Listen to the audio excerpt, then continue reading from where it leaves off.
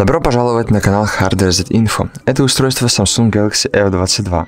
Сейчас я вам покажу, как на этом устройстве сделать сброс камеры.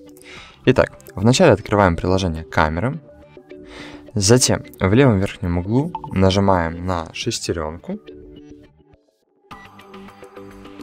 А потом снимаем, спускаемся в самый низ и нажимаем сбросить, сброс параметров.